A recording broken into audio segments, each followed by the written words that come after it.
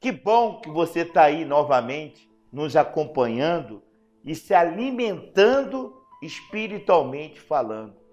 Fisicamente, nós temos que se alimentar todos os dias. É, dizem os médicos, de três em três horas, né? Tem aquela refeição, aquele lanche, aquela vitamina para fortalecer o campo físico do ser humano, de cada um de nós. Mas eu não queria falar de alimento físico. Eu queria falar de alimento espiritual. E no livro de 1 Tessalonicenses, capítulo 5, a partir do versículo 16, diz assim: Regozijai-vos sempre.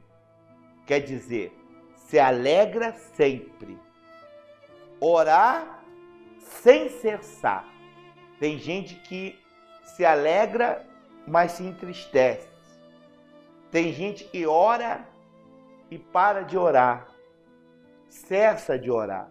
E a Bíblia diz para nós orarmos incessantemente, em tudo da graça, porque essa é a vontade de Deus em Cristo Jesus para convosco. Em tudo dá graças. Ô bispo, eu vou dar graça para o coronavírus?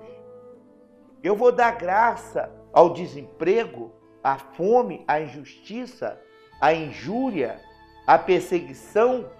Não é isso, meu amigo, minha amiga.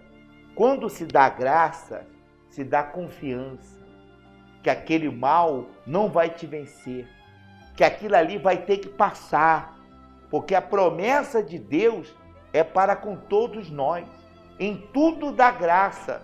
Não é que você está aceitando a doença, a atuação do coronavírus, a atuação do mal que veio para roubar, matar e destruir. Não.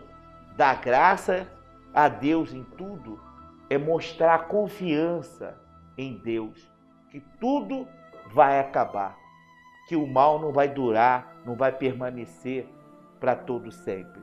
E a Bíblia fala claramente, meu amigo, minha amiga, em tudo dá graças. E no versículo 19 diz: Não apagueis o espírito.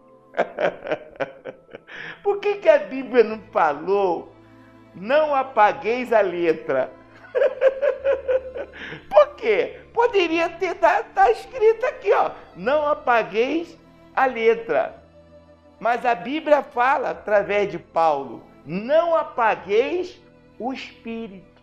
Porque Paulo diz: a letra mata, mas o espírito vivifica. E nós precisamos, não é da letra, não é da letra, nós precisamos do espírito da palavra de Deus. E a palavra de Deus, ela tem espírito e ela chega até você, meu amigo, minha amiga, dizendo: Não tema, porque eu sou contigo. Não apagueis o espírito, não apagueis o temor, não apagueis o tremor, não apaguei a fidelidade, não apaguei Deus acima de todas as coisas, e etc, e etc não apaguei.